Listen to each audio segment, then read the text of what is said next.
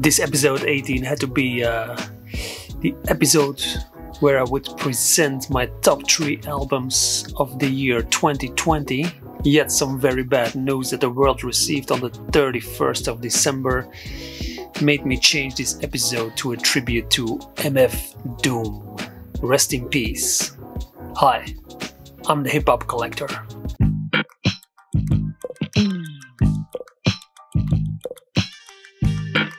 hiphopcollector.com. Normally, the 31st of December and the 1st of January, I try to keep my phone away, not sitting too much in front of my computer, also. And then I received a message again from Mr. Flatline, a good friend of mine in Seattle, mentioning that MF Doom passed away. I was like, what? No, cannot be true went to my phone, checked my Instagram, and the worst thing that was in my mind happened. My whole Instagram was full of MF Doom pictures. And then you sadly know enough. MF Doom passed away apparently already two months ago. They made it now public uh, this is none of my business, so I will not interfere in that. Uh, but I want to pay tribute to him because the man did some amazing work in this world of hip hop. His rhymes were exceptionally nice, beat wise, amazing.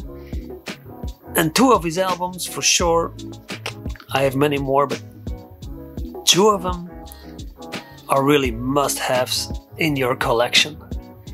And I want to show you a few of my items in my collection. One of it, of course, is the mm, Food album. Really nice, so good. You just put it on and play it from start to finish. I have still the packed version. I like this plastic, it's nice on CD. I also have the version still on vinyl, unopened. I bought them when they were released back then, and I thought back then also I just do not open them because I have the other one. Secondly, secondly there is the Operation Doomsday album. There are several versions of it released, many of them actually. I just took a few that I have.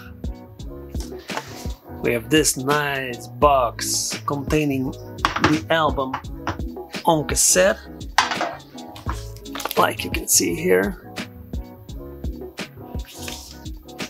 This is very nice version. Then you have this one. Also very cool. Vinyl. Have it twice. Also still unopened. And we still have the Operation Doomsday lunchbox. Also containing the CD and some extra items. Very cool to have very happy that I have it, that I found it. This is really a person that will be missed also.